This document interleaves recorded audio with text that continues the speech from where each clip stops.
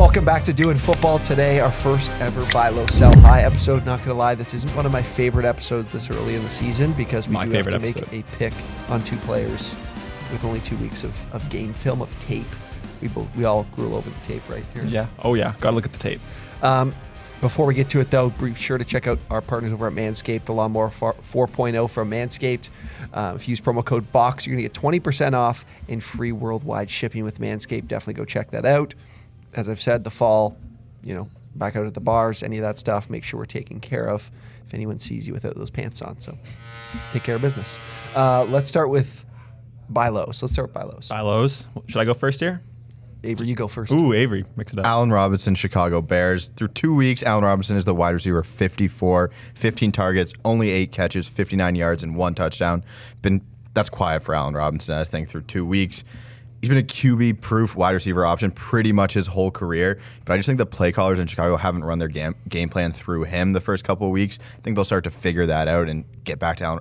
Allen Robinson's a really fucking good receiver. The fact that they this is the start for him. I'm not worried at all about Allen Robinson. Darnell Mooney has picked up has been picked to be the breakout in this offense. Got a lot of targets, run a lot of routes as you see it. Um, but Allen Robinson has done this for years. He's the guy who we know what we're gonna get with Allen Robinson, and that's why I'm looking to buy low on him. Uh, guarantee you for about 150 targets. The volume is about to start to pick up here. Justin Fields being the quarterback should only help Allen Robinson deep targets here. Even if Darnell Mooney's the guy who's going to go for the deep targets, open it up Allen Robinson middle of the field, those like 15 yard passes. It's good for Allen Robinson there. Um, and I think Justin Fields also super dynamic. It'll change the game plan against him. They'll have to look for more stuff on the defense. Allen Robinson should get open, should get all those catches. Uh, a guy I want to do a trade for, I would say a Tee Higgins for Allen Robinson trade is something I'm looking forward a trade to make. Allen Robinson needs to make, Allen Robinson needs to make sure he gets his money this offseason. So I'm sure he's going to show up and he's going to start getting the end zone, start getting it done for you in your fantasy teams. I wouldn't worry about him if you have him and if you can go get him. I'd be more than happy to. This is a consistent guy who's always been right around that wide, wide receiver run one range the last number of seasons. Yeah. He he just barely missed another touchdown in that game too from Fields. Like he was right through his hands. Yeah, he I think have it would have been like a 30 yard touchdown, something pretty big too. a so great throw. he was that close to having a big week and it just barely didn't happen. So he's a good buy low. He's going to be the guy who's consistent week to week. So I like it. Okay, my buy low is someone I think you can get on the extremely cheap right now. Mike Davis of the Atlanta Falcons. He's the running back 26 so far with like incredibly tough matchups. I mean, the Eagles' defensive line early in the season. You have to make sure you know that's early in the season that they, you know, are healthy. It's already falling apart for them. I was just saying to to Jared before we recorded that they just lost uh, Brooks and Graham was Yeah. confirmed with the Achilles injury. So things are starting to fall apart in, in Philadelphia. But again, Philly and the Bucs the first two weeks. I mean, that's extremely difficult first two weeks to start. And still was the running back 26. And this was on the back of touches. And that's what we care about in fantasy football. It's volume, it's the ball in your hands, it's the opportunity. He was second amongst running backs in targets. He was still top 20 in rushing attempts to, uh, amongst all running backs, which is to me in a two bad matchups is still pretty decent. Um, and he's got a much more uh, a game or some game scripts that should be much more competitive because of their matchups ahead. He's got the Giants, the football team, the Jets, the Dolphins, and the Panthers.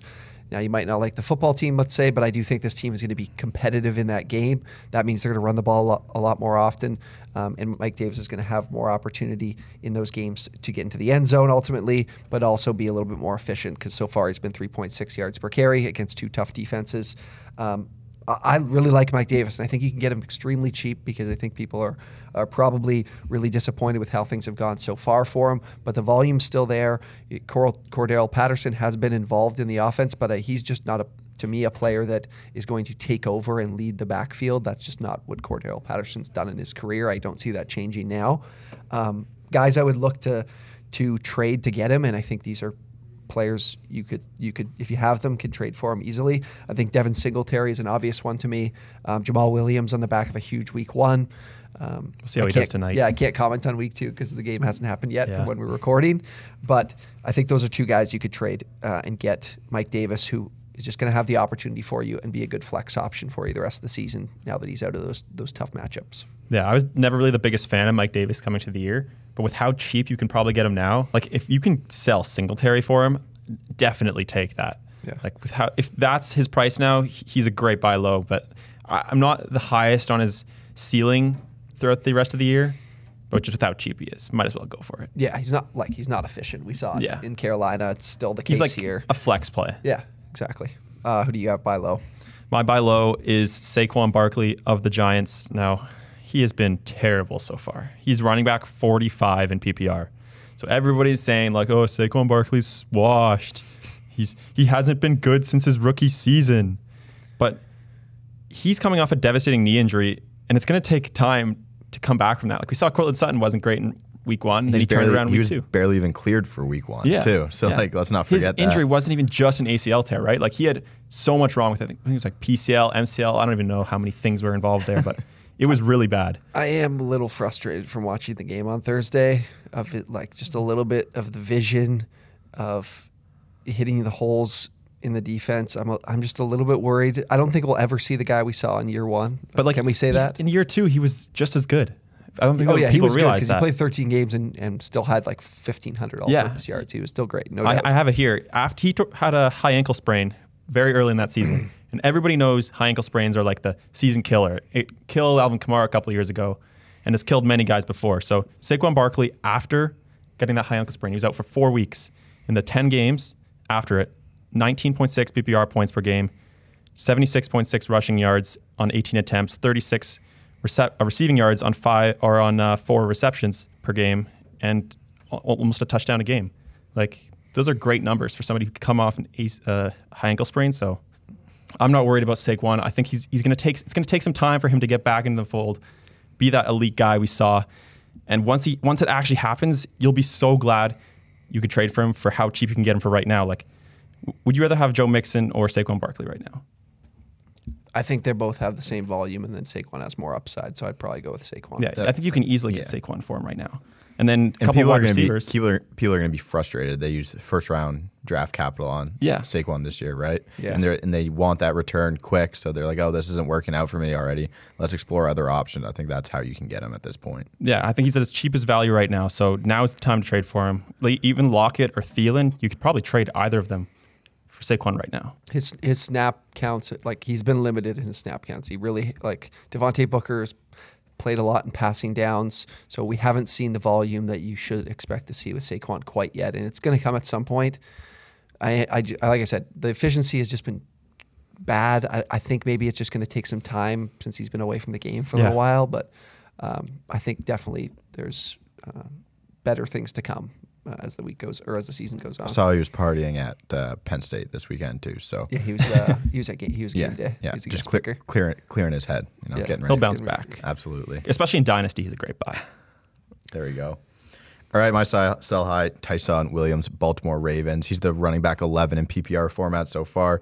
I am worried about his usage or the usage of the other running backs in the Baltimore Ravens system. That's why the main reason for my sell high. Looking at last night's game, the snap rates, Ty'Son Williams 49%, Latavius Murray 36%, Devonta Freeman 13%. Ty'Son Williams only 13 carries compared to Latavius Murray's nine. Um, Ty'Son Williams two targets, Latavius Murray and Devonta Freeman zero. Fumbled at the goal line. They gave it to Latavius Murray next time for a touchdown around around the end zone, right? Yeah. Harbaugh said they're going to ride the hot hand at running back this season. Lamar Jackson is always going to be the running back one in that system. They're going to use whoever they want, whenever the fuck they want. It's going to be frustrating season to roster and start Ty'Son Williams. I think I'd be willing to try and get Javonte Williams for Ty'Son Williams at this point in the season. I think that'd be a good deal. Um, I thought Collinsworth was having a good laugh when uh, he fumbled that ball. And who scored? Was it Duvernay that Yeah. Duvernay. He had he was just laughing, like really enjoying the fact that the ball was fumbled and then caught. he he couldn't stop laughing about that. He loved it. But I, I the Ravens backfield is going to be tough to Well, play okay, and so- decipher. You know, I think Ty'Son's the best option because For he sure. has passing work. I just the vulture that is Lamar Jackson. Also, Latavius the end Murray. Latavius Murray also had bigger role this week. He's second week. He's with the team, right? Yeah. So who knows how how much longer he's going to be with the team? How much they're going to use him? And what running back group would you rather roster? The Niners running back room or the Ravens running back room at this point? I think the Ravens.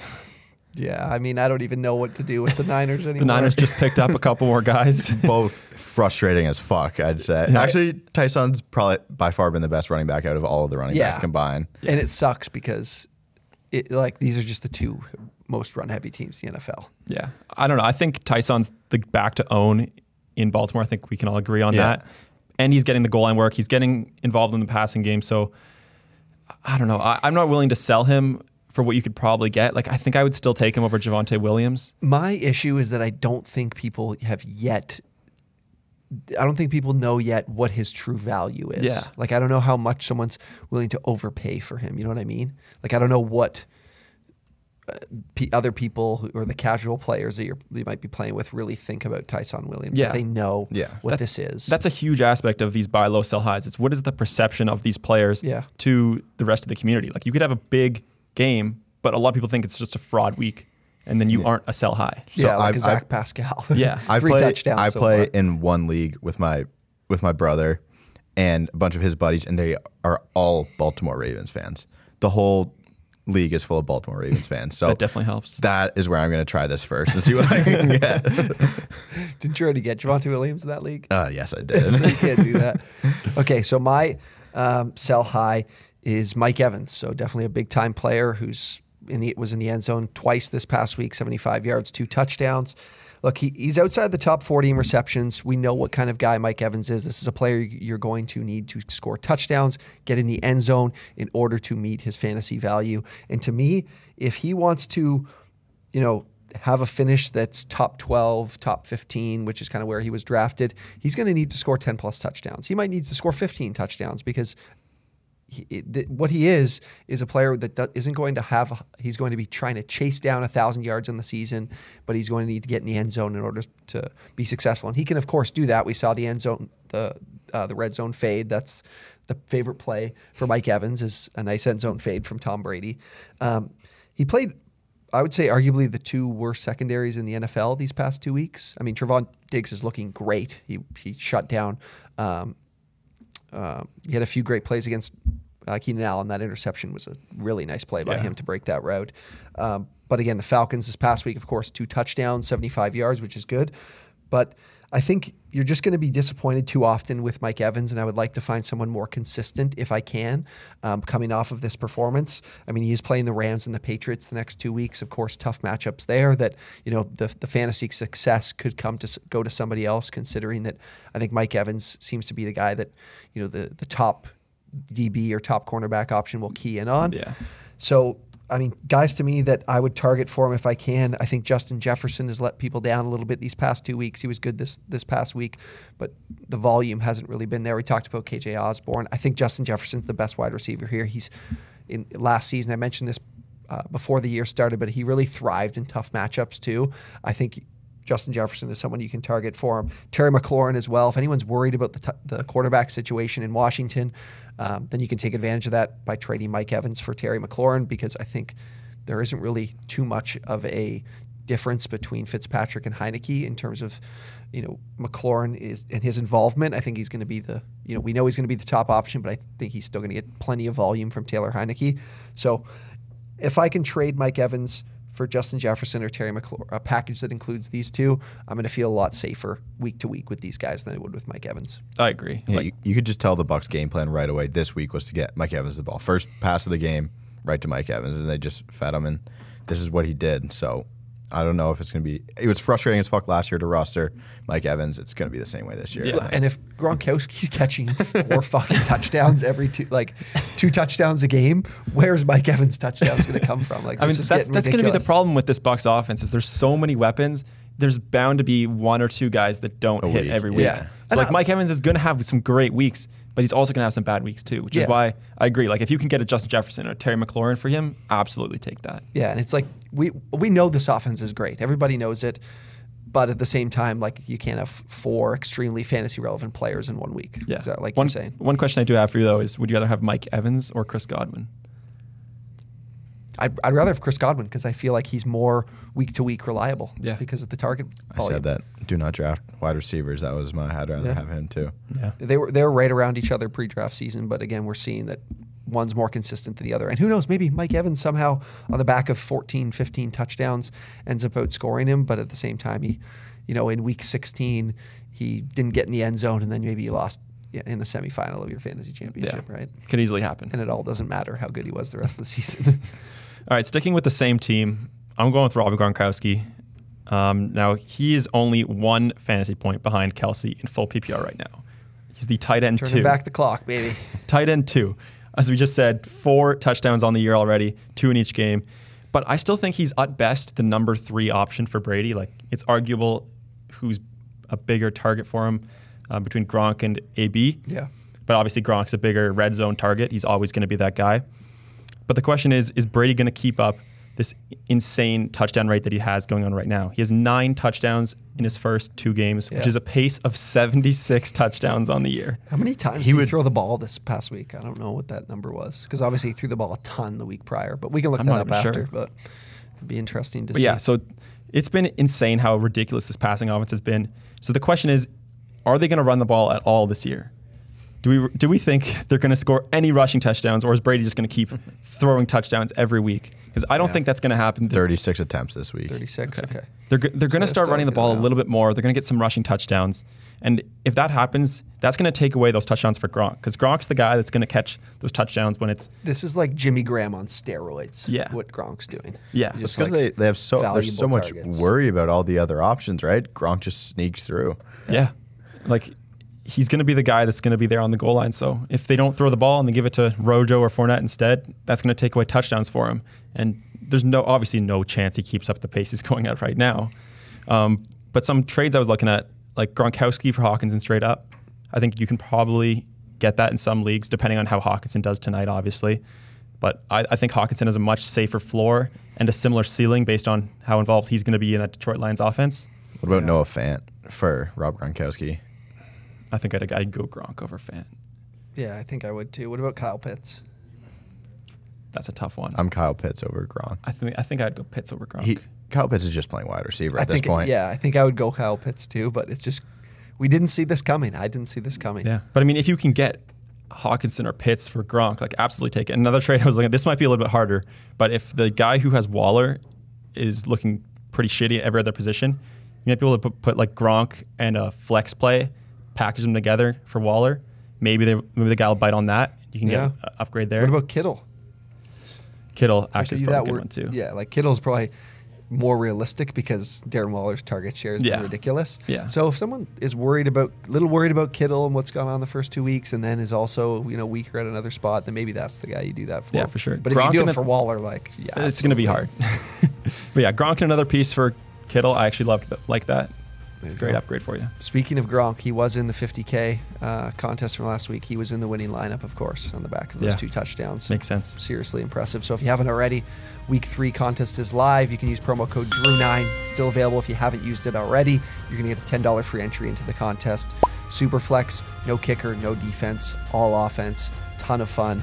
The QB stacks, the stacks in general have been have been a ton of fun and really what's been winning people week so far. Gotta make the stacks. So definitely go check out OwnersBox, download the app, go play in the week three contest. Thank you guys for watching. Of course, if you enjoyed the video, like, comment, subscribe to the channel, and we'll see you guys next time.